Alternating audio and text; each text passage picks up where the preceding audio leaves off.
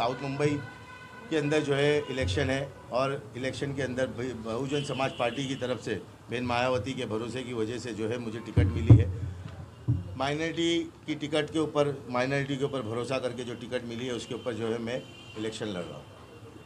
कल जो है एक सभा के अंदर जनाब राज ठाकरे साहब ने जो है एक बयान दिया कि मस्जिदों से मुफ्तियान मौलाना जो है वो ये फतवा दे रहे हैं कि मुसलमान को जो है, मुसलमान जो है, वो इंडियन अलायंस को वोट दे।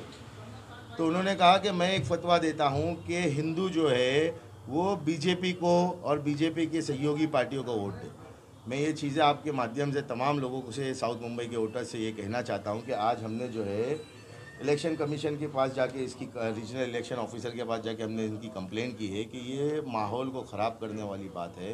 और मस्जिदों के जो मौलाना है, उनके ख़िलाफ़ जो इस तरीके की अगर बात होंगी तो इससे जो है वो हमारे हमारे जो मौलाना है या जो लोगों का हमारा जो शरय या मुस्लिम हक है, उसकी वजह से कहीं ना कहीं हमारी बदनामी हो रही है।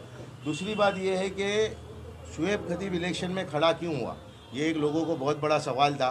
उस सवाल का जवाब यही है कि मुसलमानों की और माइनॉरिटी की जो है आवाज़ को जो है पार्लियामेंट में उठाना है, जिसकी शुरुआत हमने की है। हम यहाँ किसी के खड़े करने की वजह से नहीं खड़े हुए, हमने अपनी फ़िक्र और अपनी कौम की फ़िक्रों को लेकर खड़े हुए कि कहीं ना कहीं कोई तो आवाज़ उठाने वाला हो।